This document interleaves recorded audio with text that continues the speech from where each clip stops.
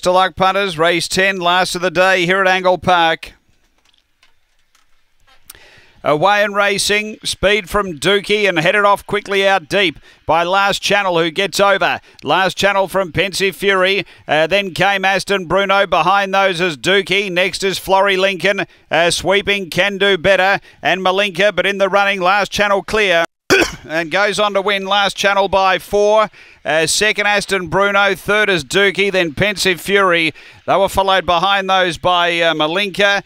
And uh, we had well back in the run then uh, after the line was um, behind those sweeping. Can do better. The run here is around 19 and 80.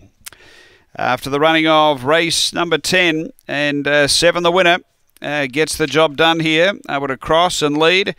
And uh, for Tony Nobes, number seven, last channel. So interim numbers here seven, three, four, and two. Uh, seven, three, four, and two. Number seven, last channel, Tony Nobes. Second to three, which is Aston Bruno for Paul Fagan. Third to four, uh, Dookie for Kevin Bewley. It's seven, three, four, two after Angle Park, race number 10.